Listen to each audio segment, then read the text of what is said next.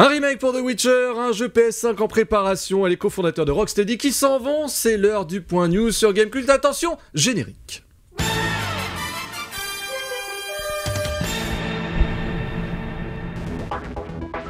Et oui, quoi de beau dans l'actualité du jeu vidéo On a quelques minutes, une trentaine de minutes. Allez, on va faire court, on va faire synthétique. Pour en parler, c'est le point news sur Gamecult. On te voit là, caméra, mon cher Padré, tu vois, c'est ton. Ah ouais. un petit peu penché, voilà. Ouais, mais euh, on... Euh, Eh oui, bah si, bah euh, oui. Ouais. Bon, tout ça pour dire que on va, comme d'habitude, de décrypter un petit peu l'actualité du jeu vidéo. Oui, là, comme ça, tu décrypter de de loin. décrypter de façon confortable. On voit tes feuilles également, donc attention, il va falloir être précis. hein. C'est la télévision.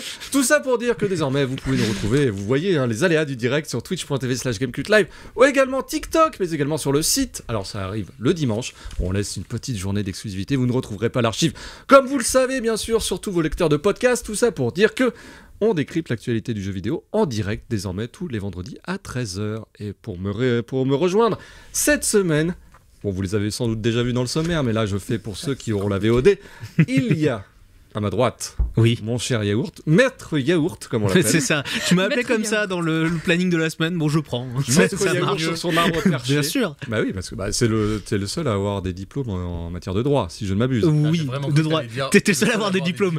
C'est vrai. Même. Ça va. Non, non, on a des gens un peu sérieux, c'est ça que tu veux dire Ouais. Permettez-moi Bien de. Non, je suis pas sûr. Eh oui, une petite maîtrise en droit, attention. Oh Attention, là tu flexes. Ouais. Complètement. Alors, Alors, que t- franchement, ça n'a aucun intérêt. Je peux me permettre, maîtrise, c'est, c'est le niveau euh, Bah ouais. classique. Moi, C'est je- quoi je- C'est pas le truc que t'as arrêté avant le master, ça? Ouais. Bah non, c'est le master justement.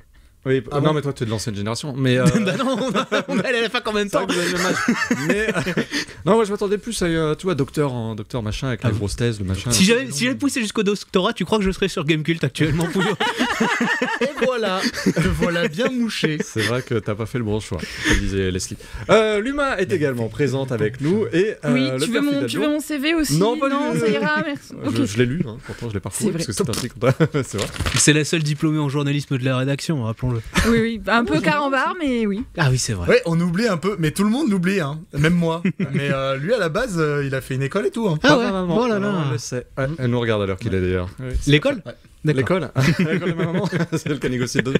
Bon, bref, tout ça pour dire que voilà, on a que trop parlé et je pense qu'on s'est un petit peu égaré de l'essentiel. C'est pourquoi, c'est pourquoi nous allons lancer tout de suite le jingle du Flash News pour recentrer un petit peu le débat. Attention, Hubert en régie. Flash News à deux têtes cette semaine, c'est Von Yaourt et le père Fidalbion qui s'en sont chargés. Qui est orange, qui est tout blanc Parce que voilà, C'est moi qui suis orange. c'est toi qui es orange. C'est la DDE. Et tu n'es pas vert de rage en apprenant que c'est des projets. Oui, c'est des projets. a annoncé, officialisé son remake. Voilà, c'était encore euh, sous une forme de teaser. Désormais, c'est officiel. Eh oui, c'est officiel, effectivement, c'est des Project Red qui précisent ces annonces faites, au début du mois. Vous vous en souvenez? Euh, Sans doute, euh, au tout début octobre, ils avaient annoncé plein plein de jeux qu'ils allaient faire dans les années à venir. Et donc, un des projets annoncés se nommait Canis Majoris. C'était un épisode de The Witcher. Et on apprend qu'il s'agit en fait d'un remake intégral du premier The Witcher. Un remake donc ce qu'on savait déjà qui est confié à un studio externe, Full Theory, et qui tournera sous l'Unreal Engine 5. Mais euh, donc, la nouveauté, c'est que c'est bien un remake du tout premier épisode. On ne sait pas quand il sortira, et on ne sait pas non plus s'il réutilisera euh, l'horrible système de combat Voilà, du premier The Witcher. qu'il y aura un gameplay cette fois-ci. donc, euh, Exactement. C'était- Et oui, il Ouh. fallait cliquer en rythme. C'était vraiment une très bonne idée. Ouais. Non, Mais c'était une idée, au moins. c'était une idée. Je, Certains en manquent. je ah suis bah ça on a compris hein, que vous, n'aimez pas trop le recyclage d'idées. Bon, Non. eh bien ce ne sera peut-être pas le cas du prochain jeu PS5 de London Studio qui a filtré sur les internets. D'ici, je m'avancerai pas trop. Mais enfin bon. En effet, London Studio. Alors, London Studio, c'est quoi? Euh, C'est un studio qui fête ses 20 ans au sein de Sony, puisque c'est un studio de Sony, rappelons-le. C'est ceux qui, notamment, se sont chargés des jeux iToy, de SingStar, euh, ou encore de la réalité augmentée sur Wonderbook. Donc, plutôt dernièrement des, euh, des expériences un petit peu atypiques, on va dire. Mais à l'époque, autant jadis, de la PS2, ils avaient tenté quelque chose de plus classique avec un monde ouvert. The Getaway, c'était eux. Et puis, en fait, ça n'a pas très très bien fonctionné. En témoignent les haussements de sourcils de, de mon camarade. Euh, et donc, à l'occasion des 20 ans du studio, ils ont donné quelques infos sur ce qui les anime en ce moment, à savoir un nouveau projet et un jeu PS5 cette fois, plus classique, donc euh, plus euh, on s'éloigne un peu justement des expériences euh, atypiques dont je parlais tout à l'heure, avec un visuel qui nous amène vers un petit peu le contexte de ce jeu-là. à savoir Londres, à nouveau, comme dans The Gateway, mais dans une Londres mêlant réalité et fantasy. Comme on le voit ici, il y a des dragons et des gens avec des cornes, donc c'est forcément fantasy. Le tout, mesdames et messieurs, attendez-le, parce que ça arrive. Avec une formule de jeu de combat en ligne et en coop, bien entendu, puisque ça alimentera miam. euh, un petit peu tout le volet. Game as Service voulu par Sony. C'est vrai Voilà. que ça manque, hein, des jeux comme Ah bah, ça. Il y en a pas assez. On va rester dans les studios, on va parler de Rocksteady. Tout à l'heure, on parlera de Gotham Knights, mais Rocksteady, il se Bah, passe également des choses. Et oui, effectivement, les cofondateurs de Rocksteady Studio qui partent voir ailleurs après 18 ans euh, passés dans leur entreprise qu'ils ont créée. Donc, à l'époque, Sefton Hill et Jamie Walker ont annoncé leur départ effectif à la fin de l'année 2022. Alors que les deux derniers titres du studio datent d'il y a ouais, 6 et 7 ans, je crois, respectivement, euh, les Batman Arkham Knight et euh, la version V 2015, ouais. et la version VR qui doit 2015-2016 respectivement. Le prochain projet nommé Suicide, Squ- Suicide Squad Kill the Justice League a encore été repoussé au printemps 2023, rappelons-le. Ce qui fait que donc là, après l'annonce de ce départ, le patron de Warner Bros, qui chapeaute un peu tout ça, a profité pour annoncer la promotion de Nathan Burlow, un historique aussi de Rocksteady, et euh, qui en devient le nouveau directeur, également la promotion de Darius Sadegian, qui devient le nouveau Studio Product Director. Ils appartiennent à Warner, Rocksteady Eh ben, euh, je sais pas s'ils appartiennent directement ou alors s'ils chapeautent énormément avec les licences qu'ils Ouais. utilisent de toute façon. Ils font du Batman, ils font du façon, Suicide Squad, donc euh, ils sont. Ils, Il me semblait sont- qu'ils étaient Je, je suis, je suis pas sûr, à vrai dire. Je, je ne, je n'ai pas la réponse directe à cette À question. faudrait qu'on le avant que le chat ne m'incendie, hein, je précise, Rocksteady n'a pas fait Gotham Knights. Non. Évidemment, c'est Warner Bros. Évidemment. Montréal. Voilà, il n'y a pas de confusion là-dessus. Ah oui, c'est juste pour dire que tout à l'heure, on va parler de Gotham Knights, qu'on attribue souvent à tort, d'ailleurs, à À Rocksteady. Voilà, Alors ça, la précision est faite. Mon cher Padré, vous avez deux idoles dans la vie, c'est Arsène Wenger, mais également Hideo Kojima. Tout à fait. C'est vrai, voilà, je vous souhaite une bonne journée. Euh, non, on le sait, en effet, Kojima est au turbin euh, avec ses ouailles. Kojima Production est au turbin sur deux projets, dont un pour le compte de Microsoft. On a toujours un peu du mal à savoir ce que c'est le premier. Ça pourrait bien être un Death Stranding 2, mais bref. En tout cas, il y a un jeu euh, qui est développé pour le compte de Microsoft en ce moment. Et c'est dans le cadre d'une interview au quotidien britannique, accordée au quotidien britannique The Guardian, que le créateur a donné quelques bribes d'informations concernant un de ces deux futurs projets est donc potentiellement celui euh, de Microsoft, c'est probablement celui-là dont il s'agit, et comme les infos sont rares dans les campagnes promotionnelles de ce cher idéo, on prend ce qu'il y a. Je cite, euh, pour parler de, donc, de ce nouveau titre, c'est presque comme un nouveau médium, si cela réussit, enfin si on réussit à faire ça, euh, ça va bouleverser les choses, pas seulement dans l'industrie du jeu, mais aussi dans l'industrie du cinéma, à laquelle évidemment il essaye de s'associer très très très régulièrement. La preuve en est, la dernière en date, c'est cette affiche avec Elle Fanning qui visiblement va être impliquée dans une de ses prochaines productions. Euh, sens de la mesure et modestie habituelle hein, du gars. Coco, mais faut admettre qu'il sait se vendre et faut admettre aussi que souvent le produit fini ne ment pas. Et surprenant, d'ailleurs, Est-ce que tu as vu que Woodkid Oui. avait été scanné euh, pour faire apparition sans doute dans son prochain jeu? Euh, ça, ça date de ce matin. grand hein, livre c'est de tout frais. guest. euh, Du cocorico, parce qu'il est français, C'est Woodkid. vrai, tout à fait. On a eu la, la chance de le rencontrer d'ailleurs C'est euh, en plateau. Eh oui. Et alors il est en bois ou pas? Hein Non. Oh, là là, non, non, non, non, t'as- t'as pas le droit. Sans Allez, fais la transition. Allez, on la transition. euh, un truc- voilà, un service qui n'est pas en bois, c'est évidemment Steam. Voilà, tu Steam, hein, ouais, Ah, parfait. euh, facile. Qui lui continue de cumuler les utilisateurs actifs. Et oui, Steam qui a annoncé ce week-end avoir franchi la barre des 30 millions de joueurs simultanés ce dimanche 23 octobre.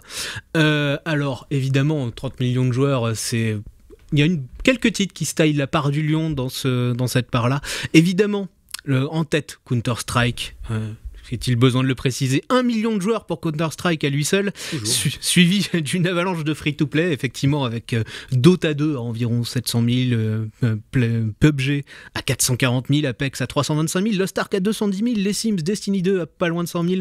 Bref, euh, il y avait beaucoup de monde. Il y avait aussi évidemment des jeux payants. GTA 5 qui est toujours là avec 160 000 joueurs. Euh, Naraka Blade plus surprenant. Rust, Terraria, Ark Survival Evolved, Cyberpunk qui Ah ouais, fermait ça. carrément la liste. Ah oui, alors, qui a ouais, 100 000, non, 60 non. 000 joueurs, mais Et donc 80 voilà. Le 97e va vous étonner. Et c'est pas Patrick Sparabox, Ah bah. c'est tout. Voilà, j'en suis dégoûté. C'est sûr. Punaise, à chaque Ouais. fois.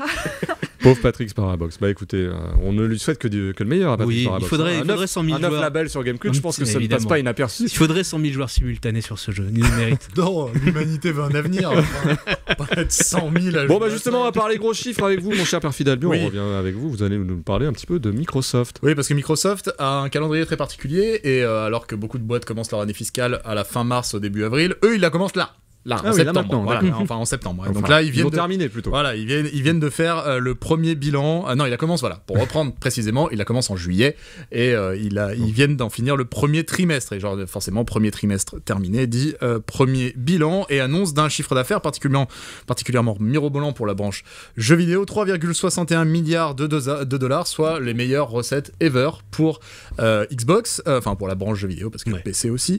Euh, vente de jeux et de contenu additionnel qui ont reculé, 3%, c'est peu, mais ça recule quand même. Euh, mais le nombre d'abonnés au Game Pass, on y reviendra un petit peu tout à l'heure, euh, continue d'augmenter et donc compense un peu ce recul dans euh, les ventes de jeux. Il profite également d'une amélioration de la situation des consoles et de la disponibilité des Xbox Series. Les ventes de hardware représentent désormais 800, enfin sur ces trois derniers mois, 813 millions de dollars sur le trimestre contre 710 un an plus tôt. Ça se passe bien du coup. Microsoft a des sous, voilà, euh, il Ouais. y a des, l'eau ça mouille et le feu ça brûle. Du coup, on a eu quelques petites indiscrétions également Mais oui. de chez Microsoft. Tout à fait, parce qu'en en marge de tous euh, ces résultats, sachez que euh, Microsoft essaye de trouver le prochain Genshin Impact. Parce qu'ils sont vexés de ne pas avoir trouvé le premier.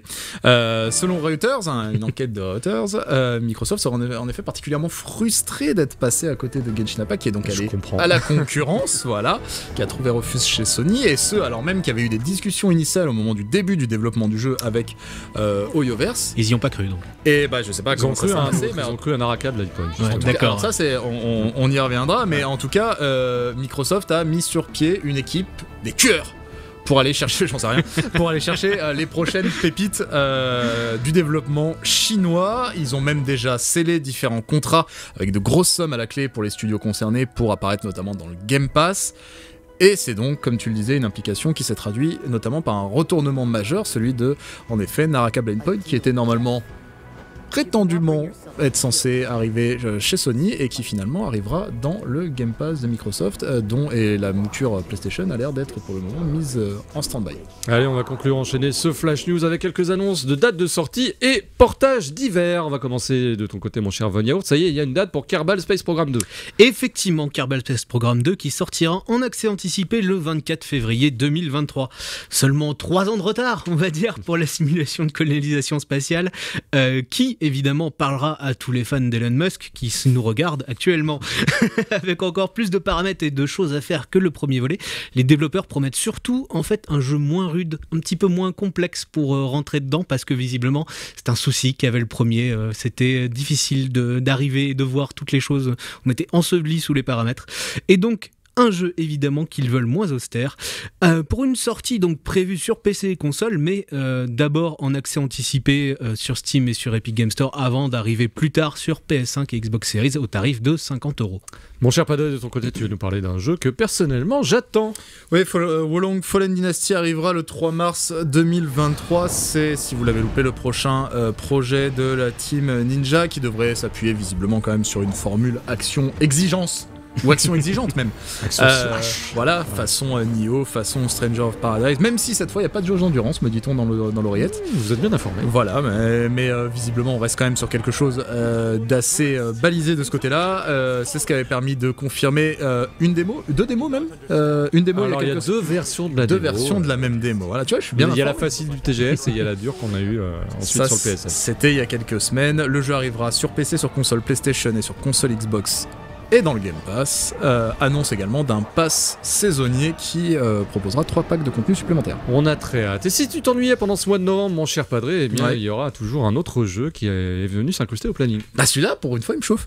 Euh, so- Summer- Un jour à marquer d'une pierre blanche. Summer- non, il y en a plein. On n'en parle pas, c'est tout. Somerville. Alors Somerville, euh, c'est pas Jimmy. Euh, c'est euh, un. Oh vanne, Oh là excellente là, vanne. Je sais. Elle Tu sais que j'ai pensé la faire, Ah ouais je me suis retenu. Bah, bah alors c'est que c'était vraiment You le fond de la cuvette. hein.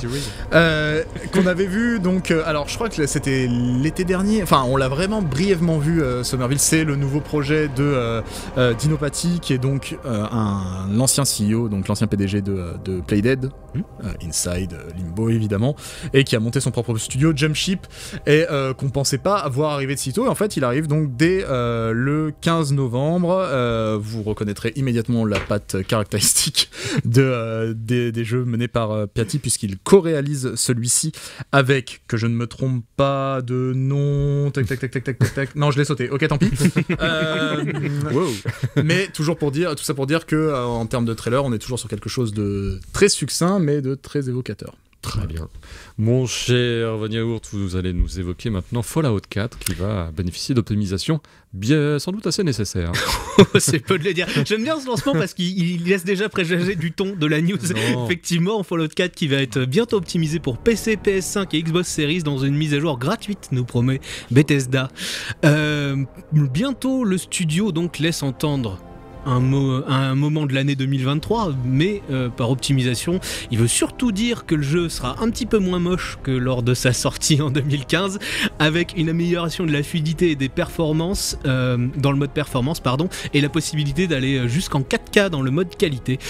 La qualité du jeu, elle, pour le coup, ne change pas. Ouais, on espère que l'intelligence artificielle sera un petit peu moins strawberry, comme on disait dans les internets. Mon cher Padré, vous allez conclure ce Flash News avec des infos sur Age of Empires. Oui, je suis estampillé Xbox cette semaine. Écoute, Age of Empires va euh, s'exporter sur euh, console et sur mobile avec l'arrivée d'une part d'Age of Empires 2 Definitive Edition, ça ce, pour- ce sera pour le 31 janvier, euh, et d'autre part de Age of Empires 4, ça c'est dans le courant de l'année prochaine, en 2023.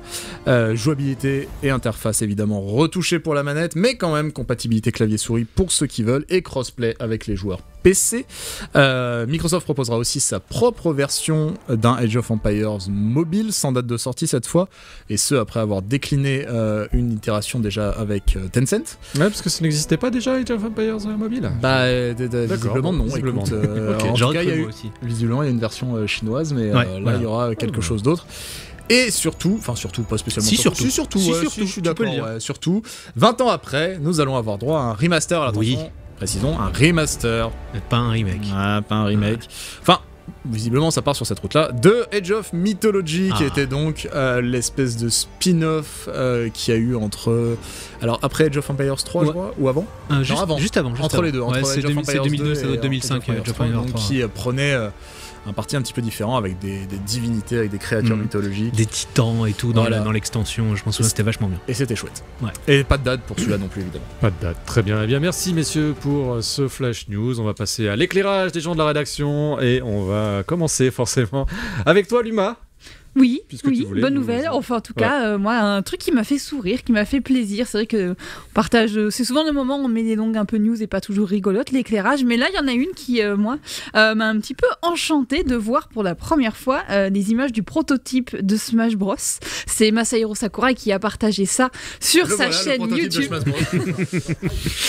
Sur sa Quel- chaîne YouTube qui s'appelle Masahiro Sakurai on Creating Games. En fait, c'est une chaîne qu'il a ouvert il y a deux mois, donc cet été à peu près, sur jusqu'ici il, pub- il publiait surtout voilà des, euh, des, des conseils sur euh, de game design. C'est une chaîne qui s'adresse aux joueurs, bien évidemment, aux gens qui sont curieux de comment on crée des jeux, euh, avec l'expérience qu'il a chez Nintendo depuis quelques dizaines d'années. Mais là, il y en a une vidéo qui est sortie ce week-end qui a un petit peu plus fait parler parce que Oh oui. euh, eh ben, il montre pour la toute première fois des vidéos de ce que donnait du coup à l'époque Dragon King The Fighting Game et plus que des images, alors même si on voit très très bien que euh, de prototype était déjà très très proche finalement Oui, de, euh, de ce qui est devenu après Smash Bros. Euh, on avait déjà du coup euh, des, des combats Smash en, en une simple touche sur A et une direction, des, des, des combats aériens, des boucliers, et même les arènes sont quasi identiques à, à destination finale et champs de bataille comme on a toujours aujourd'hui. Euh, mais plus que des images du jeu, ce que je trouvais super intéressant, c'était cette espèce de, de petit hublot sur l'industrie à l'époque. Mhm. Et c'est toute la préparation avant qu'il les images, comment il raconte euh, de quelle manière il a été pitché ces idées-là à Nintendo. Euh, il a, en fait, il a pitché deux idées euh, pour la Nintendo 64. Donc il y avait d'un côté un jeu d'aventure et infiltration. On devait Ah, ce Euh, passage-là est important. ah, ce passage-là est important, oui, c'est vrai. Euh, mais voilà, il y avait à ce côté euh, infiltration, on va hacker des caméras et tout ça. Et ce jeu de combat à quatre joueurs, extrêmement original dans, dans la dans le concept en fait pour l'époque euh, qui se voulait être totalement à contre-courant euh, des jeux qui se faisaient donc euh, les Street Fighter pour ne citer que, cette licence mais toutes les autres qui existaient où à cette époque là quand il a commencé à y réfléchir c'était au première moitié des années 90, les jeux de combat étaient extrêmement pensés pour les combos absolus. Mm. Euh, et donc très difficile d'accès pour des nouveaux joueurs ou pour des gens qui auraient peut-être moins le temps d'aller maxer ces techniques-là euh, comme le, le font les, les- les pros. Et donc il a imaginé un jeu de combat dans lequel il y aurait la place pour l'improvisation. Et c'est- cette idée, ça paraît un peu un, un peu incongru de se dire un jeu de combat on va improviser des choses. Et donc petit à petit il a imaginé voilà ce système sans barre de vie mais plutôt des pourcentages Mm. qui augmentent qui vont nous projeter plus ou moins loin de l'arène. Enfin euh, c'est très intéressant de voir tout le, le processus créatif en fait qu'il y a eu autour de Smash Bros euh, presque autant que de voir euh, ce qu'était la, la série avant même les personnages. Et d'ailleurs il me donne une anecdote assez rigolote. Il dit que quand il a présenté le jeu les développeurs étaient ravis mais les marketeurs chez Nintendo ne voulaient pas prêter les personnages à, à- à l'origine. Ils n'avaient pas envie de voir voilà, Link, Mario et. Donkey Kong euh, se mettre des, des nions dans, dans la figure euh, mais voilà moi, je allez voir sa chaîne il y a plein de vidéos euh, sur plein de concepts comme ça de game design et c'est super intéressant et voilà ça m'a ça m'a fait très plaisir de, voir, de voir ça C'est doucement ironique ce qu'il dit quand même, parce que il dit quand même, oui, bah, les, les jeux vidéo étaient, enfin les jeux de combat étaient trop compliqués à l'époque, donc j'ai voulu faire un truc plus simple où il y avait de la, de la place à l'improvisation, et du coup ça a créé un gameplay émergent extrêmement complexe. C'est les jeux parmi les jeux les plus complexes de, de leur temps et de leur époque, ce qu'il ce qu'il a fait à l'époque. Et franchement, bon, c'est c'est marrant de voir qu'en voulant, voyant- qu'en voulant euh, simplifier les jeux, il a rendu des choses encore plus compliquées. Ah, C'est quand les on- gens comme qui souvent. complexifient tout, Ouais, voilà. Comme souvent. ah non mais quand on voit ce que les joueurs ont pu faire de mêlée Ouais, et toutes les c'est- du le pur gameplay, c'est du pur gameplay que Les émergent. gens sont emparés à la fois des, des bugs et même du, Mm. du, du gameplay émergent qu'il y avait Ouais. tout autour pour vraiment voilà. Mais quasiment tout est un bug, tout. dans, Voilà. même dans Melee, hein, encore Ah quasiment tout est un bug, toutes les, D'ailleurs, le prochain chapitre de, euh, voilà, de son retour sur ses propres créations couvrira Super Smash Bros. Melee et je me demande s'il va évoquer euh, tout cet aspect euh, tournoi alors Ouais. que lui, globalement, il avait surtout envie de faire un party scènes, game très accessible. C'est deux scènes très différentes, mais il le dit dans sa vidéo Oui. que euh, c'était pensé, en fait, c'était voulu à la base qu'il y ait ce côté un peu familial avec des objets Mm. et tout ça, et sans mettre de côté, voilà, si on veut faire du 1v1 euh, sans objet, c'était c'était dans le concept d'origine dès, euh, dès ce prototype en fait. Ouais. Mais voilà, donc euh, petite vidéo de Sakurai, toute sa chaîne est très très chouette. Ouais, un jeu bien J'encourage à aller voir ça. De mon côté, je croise les doigts car Square Enix a déposé une nouvelle marque. Cette marque, c'est enfin un nouveau nom, c'est Symbiogenesis. Alors ça ne vous dit pas grand chose comme ça, mais étant donné que c'est beaucoup lié à l'univers de Parasite Eve, Parasite Eve comme on dit. euh, Bah oui, s'il te plaît. Ouais, c'est plus simple, hein, mais bon, j'essaie de. Prononce Parasite Je Eve. fais des efforts, hein, ouais, c'est comme ça que ça se dit. Ça se dit. Parasite Eve, hein, je vois pas le mais bon, souci. je dis Parasite Eve comme tout le monde. C'est Et même pas Parasite Eevee. Parasite Eve. Yves. son prénom, je, je crois qu'on dit pas Yves. Yves, comme euh, Yves, Yves. euh, Yves le parasite. Exactement.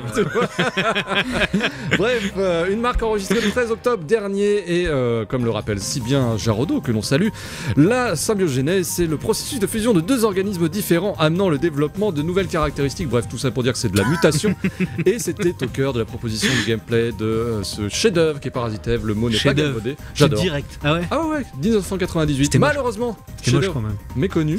Hein, c'était moche? Bah ouais, pas Je l'ai rangé dans ma, dans ma ludothèque euh, il y a pas plus tard qu'il y a quelques- 98, c'était l'un des plus beaux jeux de 98. C'est quoi le mieux C'est le 1 Tête en, tête en Moi qui suis 98. une, Ah, le- néophyte. À la base, le concept s'inspire donc des mécaniques de Re- Resident Evil. Mais Ouais. Ah oui, t'es- t'es- ah bah vas-y à fond mon On est gars. sur TikTok maintenant. Ouais, hein. Euh, mais TikTok. Ah, TikTok. Ah ça change pas. Mais euh, oui, c'est vrai. Mais tout, donc, on avait euh, vraiment un hybride JRPG euh, sur- survival. Horror. Là, j'en rajoute un peu.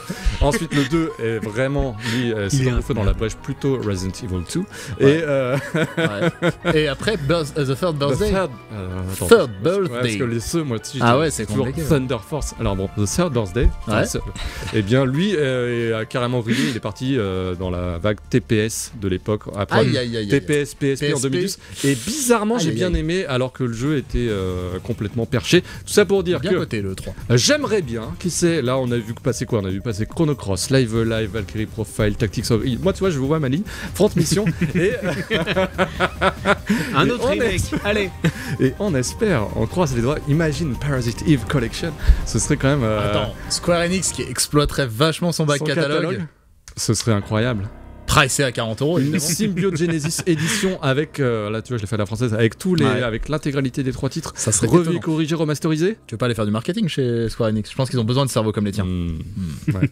Bon après il faut négocier les droits. Mais il était jamais sorti en Europe, le. En premier Europe, jamais. Ouais. Et c'est bien dommage parce que c'est Ah, le premier n'est jamais Le sorti premier, non. ouais. Non, non, non, il est sorti uniquement aux États-Unis D'où le fait que j'ai que le 2. avec la démo de. Sans doute.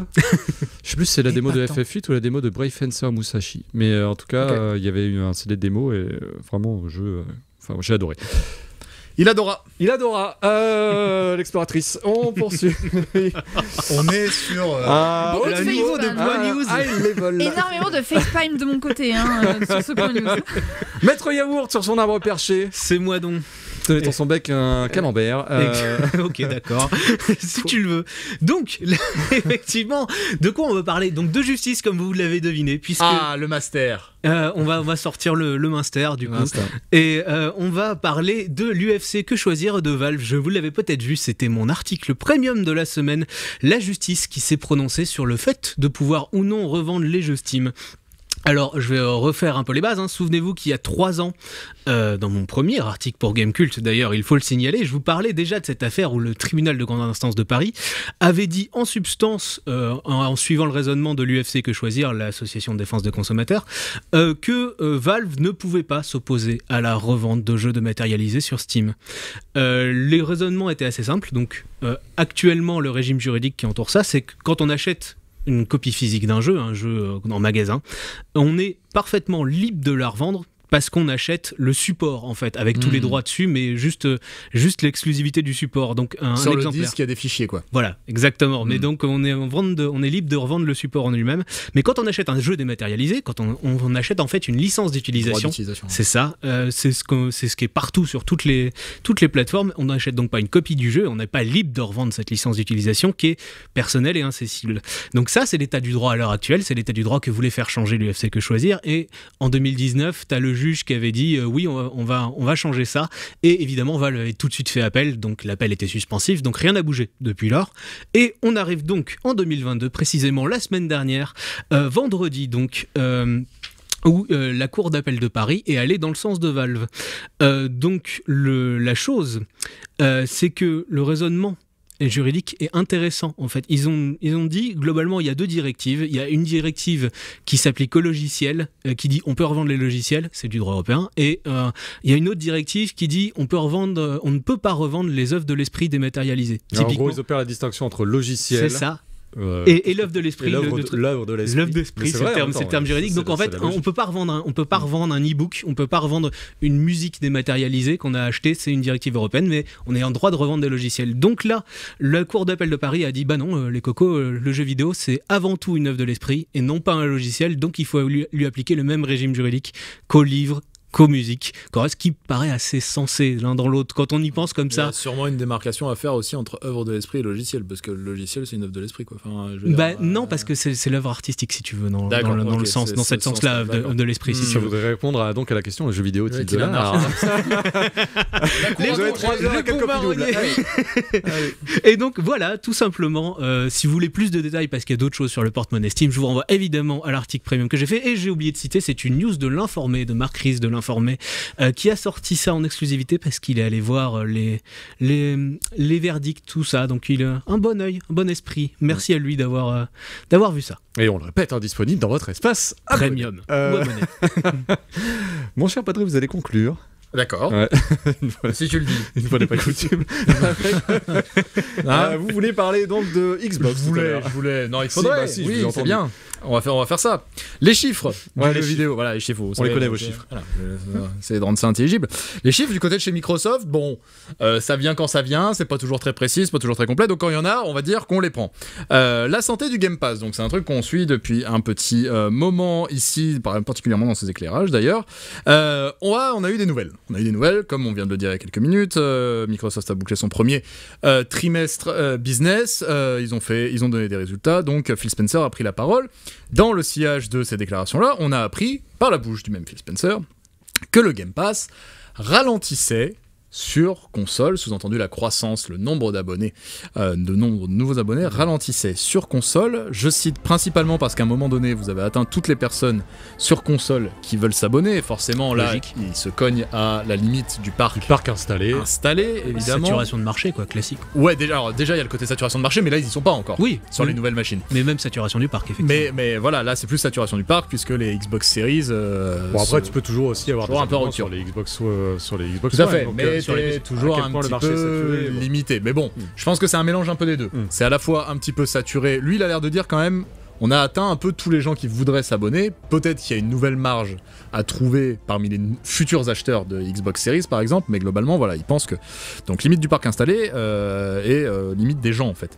Euh, il a d'ailleurs précisé à ce titre que les prototypes, le, proto- le fameux prototype qu'on avait vu derrière lui il y a quelques semaines, le prototype Keystone, était d'ailleurs complètement mis en stand-by. Ils le feront peut-être, mais d'ici quelques années.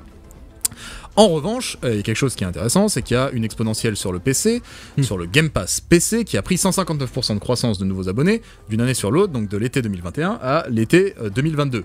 Preuve que du coup, le nombre de machines là n'est pas un problème, vu Mhm. qu'il y en a partout des PC, donc t'as de la marge de manœuvre.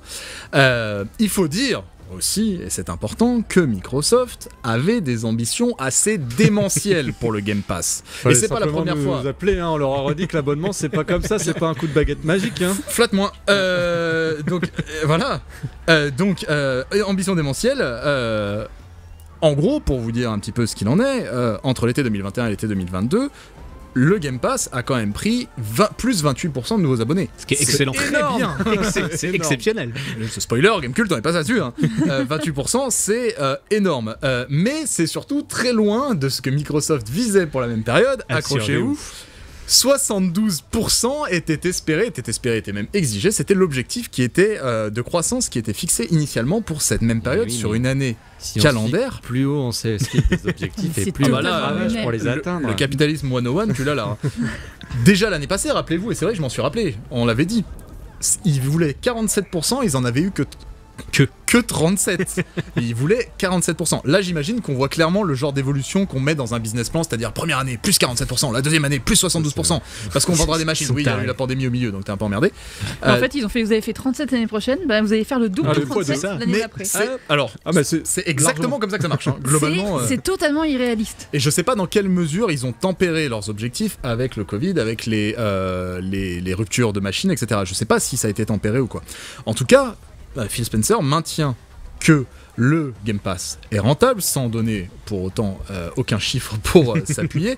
On sait tout juste, en faisant le puzzle des, des on sait que ça représente 15% des recettes Content and, service and Services de Microsoft, et donc ça fait un peu moins de 2 milliards de dollars pour le Game Pass, ce qui est pas mal. Bon, Ça va.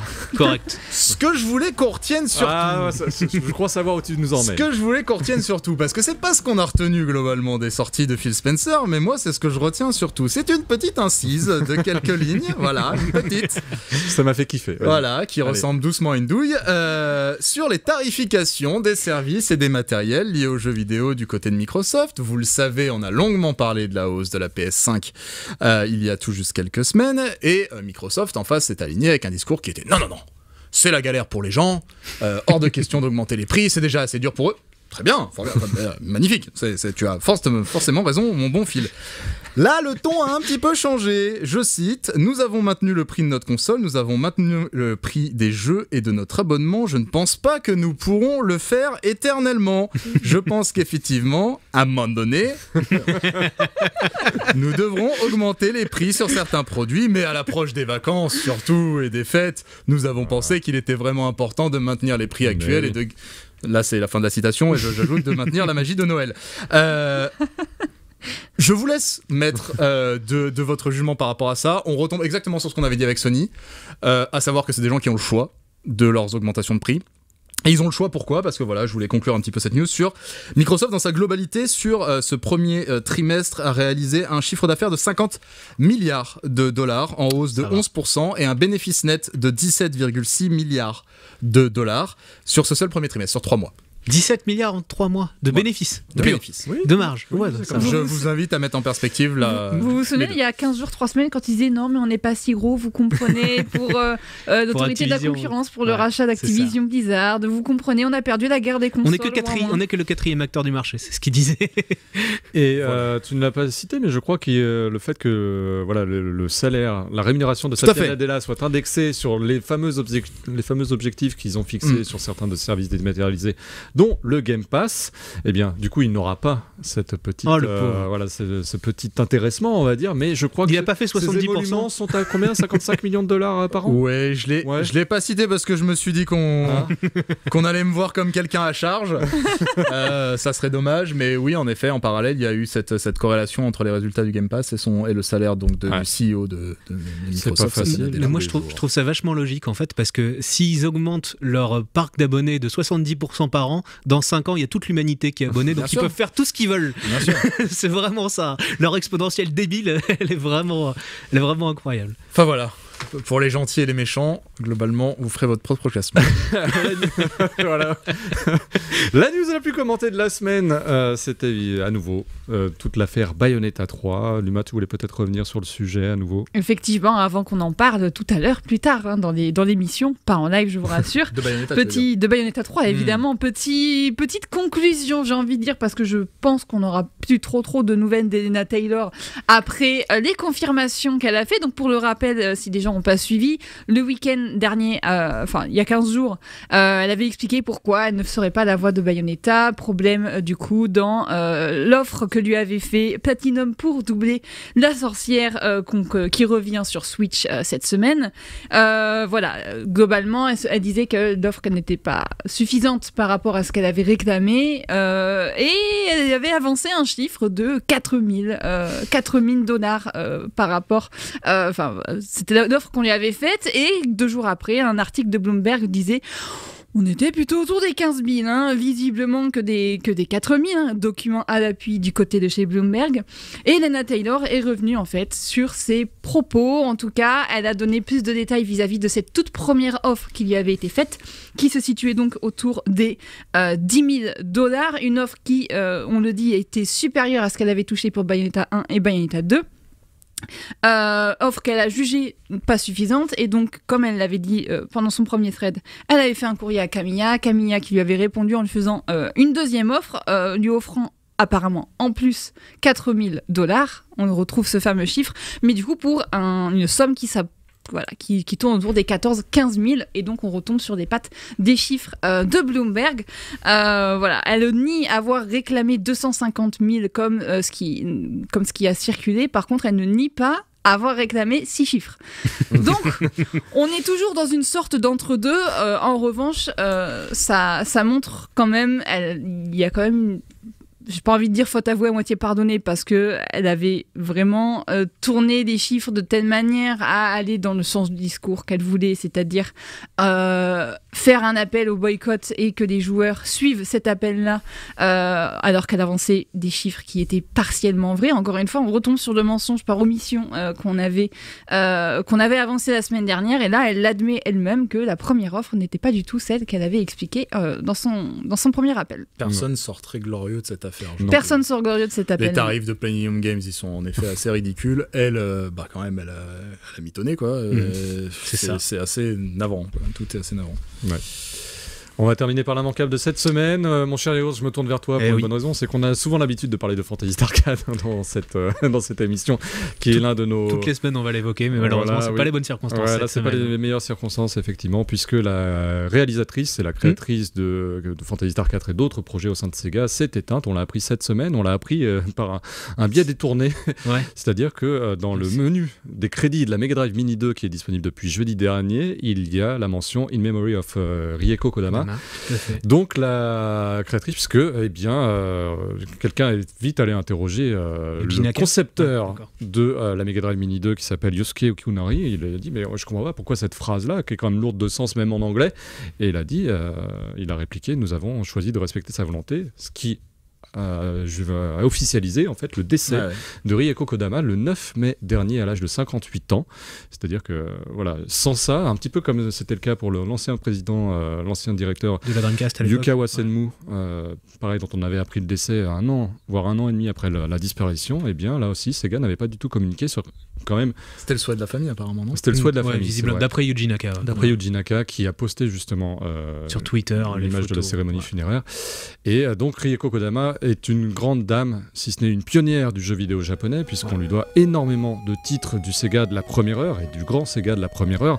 Elle a intégré Sega en 1984. C'est ça. Euh, C'est comme elle avait été passionnée à la fois d'archéologie, d'égyptologie, mais également de design publicitaire. Et bien, elle, Elle s'est retrouvée artiste. elle s'est retrouvée aucun rapport. chez Sega. C'est Vous vrai. savez, à l'époque, hein, les éditeurs Ouais. japonais Ouais. avaient tendance à, enfin, avaient tendance à recruter un petit peu euh, Dans d'autres domaines. ça. Bien sûr. comme ça à l'impulsion et puis Bah, ça même au talent. pas, hein. le- De toute façon, le jeu Tout vidéo. à fait, le jeu tu- vidéo était une industrie naissante. Et beaucoup de postes artistiques au Japon, visiblement dans l'industrie, étaient quand même occupés par des femmes. On se souvient chez Capcom, euh, beaucoup de gens de la musique c'était- étaient des femmes à l'époque, donc euh, beaucoup de postes artistiques effectivement. Mais elle, c'est sans doute pour moi en tout cas, c'est peut-être le premier nom de femme dans le jeu vidéo que j'ai connu. C'est vrai, Phoenix Rier, un nom Ouais. qui revenait régulièrement dans les génériques de jeux. Master System et Mega Drive. sous pseudo, en fait. Ouais, elle était sous pseudo. Oui, t'étais- enfin, c'était conseillé d'être sous pseudo pour éviter de te faire débaucher souvent, à l'époque. Et aussi parce que l'industrie était un peu moins bien considérée qu'elle ne l'est aujourd'hui. Mm.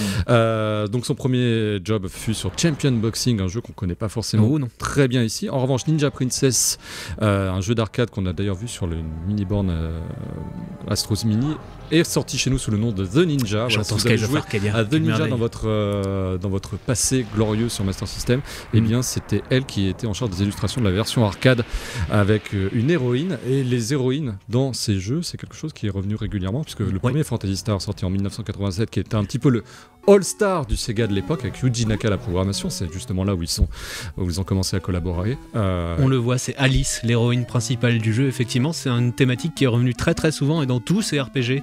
Elle a mis, euh, parfois c'était un héros masculin, le protagoniste principal, mais c'était toujours en duo avec une femme. Et parfois même dans Fantasy Star 1 en particulier, l'héroïne princi- principale c'était effectivement une héroïne, un truc qu'on voyait jamais dans les RPG à l'époque. C'était le tout début des RPG, donc euh, elle a vraiment été pionnière de ça. Et elle a dit, elle a dit dans une interview qu'elle y attention, qu'elle faisait vraiment attention à ça, à avoir des protagonistes féminins forts en plus. Effectivement, quand on a joué à Fantasy Star 1, Fantasy Star 4, on se souvient notamment que Alice, qui était aussi dans Fantasy Star 4, était vraiment l'archétype du personnage féminin extrêmement forte, euh, chasseuse de primes. C'était le, c'était la, comment dire, euh, le mentor de, du, de- Amazon. voilà. Non, mais le mentor de le- du personnage qu'on a Ouais, reconnu. ouais, ouais, nous, d'accord, quoi. ok. Hmm. Clairement. Donc euh, c'était une chose à laquelle elle a toujours prêté attention et effectivement on l'a retrouvée dans, dans tous ces jeux parce qu'au début elle était euh, effectivement art- artiste et elle faisait notamment euh, au tout début des euh, globalement les graphismes en pixels c'est elle qui s'en qui occupait un petit peu notamment dans les productions Master System mais très vite elle est montée en grade Euh, elle était directrice artistique sur Fantasy Star 1 à l'âge de 24 ans c'est un truc un truc assez hallucinant qui est un jeu révolutionnaire. hein, ouais euh, à l'époque oui ouais. complètement parce que les donjons en 3D et tout le- les choses enfin 3D évidemment Même l'envergure d'un tel jeu sur l'enverture Elite, sur Master System est quand même un voilà, c'était assez contemporain du premier Final Fantasy ou même de Dragon Quest et, Et, on est et elle a continué, elle a continué ensuite à être directrice artistique. Bah oui, si vous avez entendu 2. parler d'Alexis Miracle World, elle a travaillé sur Alexis Miracle World qui fait partie évidemment des jeux euh, de ma vie. Altered Beast, Spellcaster sur Master System qui est lui aussi un grand jeu, Fantasy Star 2, Shadow Dancer, Sonic 1 et 2. Sonic 1 et 2, elle a travaillé à, à l'artistique aussi dessus. Les grands noms de ces. Et elle a été productrice exclusive, c'était elle la, la tête dirigeante de Fantasy Star 4, euh, il faut le rappeler. Un épisode qu'elle a réalisé, donc euh, c'est sa première réalisation. Ensuite, elle va enchaîner avec Magic Knight Rare sur euh, Sega Saturn, avant de s'atteler encore à un autre grand projet qui aura fait les belles heures de la Dreamcast, Oh oui. Qui était Qui sur est- Saturn à la base. qui était censé ouais, commencer sur Saturn. C'est Eternal Arcadia, Skies of Arcadia, chez nous. Hmm. Chef-d'œuvre, redisons-le. Je n'aime pas ce jeu, mais je, Deux- deuxième plus grand RPG de l'histoire. je ne peux pas nier en tout cas euh, l'attrait. Ah, C'était un jeu d'une- ambition de incroyable, sortie, encore ouais. une fois, à l'époque. Et on, on retrouve encore ce duo euh, féminin-masculin dans les protagonistes, qui est clairement une chose qu'elle qu'elle imposait, mais enfin, c'est allé de soi quand on travaillait, j'imagine, avec Riko Kodama, d'avoir euh, cette dualité toujours. Ensuite, elle se fera non pas plus discrète, puisque Mm. les jeux Seven's Dragon qui, euh, qu'elle va chapeauter euh, Elle a fait vont tous connaître un joli succès au Japon, mais c'est vrai que chez nous, ils ont été relativement plus discrets. Confidentiel. Seven's Dragon, ouais, un JRPG qui a connu plusieurs épisodes. Euh, Qui est jamais sorti de. alors, je ne Est-ce qu'il est sorti Je sais pas. Je connais le nom. Je crois que le 3 est sorti chez nous. Sous le même nom, ouais. Ouais. Et euh, quand on dit pionnière, c'est qu'elle a été euh, désignée comme telle Mm. euh, durant la cérémonie des- de la Game Developers Conference avec un Pioneer Award en 2019 qui euh, consacrait euh, son travail, notamment bah voilà, son travail dans ces années 80, 90 et même début des années 2000, qui l'ont quand même propulsé sur des projets d'envergure et des projets qui ont marqué les esprits des joueurs. euh, Elle disait que ses projets préférés c'était Fantasy Star 4 et Skies of Arcadia. C'est donc que ça, ça surprend pas quoi. C'est vraiment là où elle a été le- la plus en avant. Mm. Elle a fait le, le plus de travail par elle-même et c'est vraiment des, des RPG qui ont marqué leur temps. On aura évidemment l'occasion de revenir un petit peu sur tout ça dans le prochain épisode de Gaijin Dash qui sera consacré. On, en, par- on en parlait régulièrement déjà de Phoenix Rie, de. Ryoko Kodama. Je sais que Daniel a pas mal d'anecdotes puisqu'il a eu la chance de la rencontrer. Oui. Euh, donc on reviendra euh, sur tout ça. Je précise également que voilà, si à titre personnel, si je suis là parmi vous, c'est grâce à tous ces jeux, Spellcaster, Alex Ouais. Kidd, Fantasy Star, Fantasy fait Star 4. énormément de jeux marqués d'elle dans mon enfance. Ouais. Clairement, Et a- son nom revenait euh, comme une évidence, Phoenix Rie. C'est vrai que je crois que dans Castle of Illusion aussi, on voit son nom à la, à la fin du générique. Et à chaque fois, je me disais, mais Phoenix Rie. Et le jour où j'ai appris que c'était une femme, je sais que euh, ça m'a saisi parce que j'avais j'avais enfin l'impression que voilà une. euh, on sait que le milieu japonais est quand même Ouais, assez machiste et voir une femme pionnière et vraiment lead sur tous ces projets-là, euh, c'était euh, c'était une forme de, de- de révélation. Bon, Mm. voilà. C'est assez imp- Donc elle est décédée à 58 ans, ce qui est très jeune. Ouais. Euh, ça a surpris beaucoup de monde. C'est pour ça qu'on s'y attendait pas du tout en fait. On a juste vu son Twitter qui était plus actif et on s'est on s'est dit tiens, elle est plus là. Mais on ne savait pas pourquoi. Voilà, c'est ainsi qu'on va conclure ce point news cette semaine. On va enchaîner avec le premier jeu, c'est Gotham Knights. On va retrouver le père, puisque c'est Eh. pas le tester, et C'est vrai. ça va parler. euh, Mais pas que. Mais Je- pas que. J'ai vu, je suis venu avec mon sidekick. L'accent. T'es venu avec ton. Robin Ouais. Enfin, je suis Non, c'est vrai. Le Robin. Avec sa, avec sa bad le girl, Robin de sa bad girl, voilà. avec euh, Baby One que l'on retrouve juste après le petit trailer. ah oui. Gamecult l'émission continue sur gamecult.com. Chaque samedi, la rédaction revient sur les dernières grosses sorties et ses jeux du moment. Le programme et le lien, c'est dans la description. En vous abonnant à Gamecult, vous avez accès à ce programme en intégralité, mais aussi à de nombreuses autres émissions, podcasts, tests, rubriques et articles de fond. Le tout pour moins cher qu'un sub Twitch. Soutenez Gamecult, sa rédaction, ses journalistes, pour savoir plus et mieux sur le jeu vidéo. À la semaine prochaine.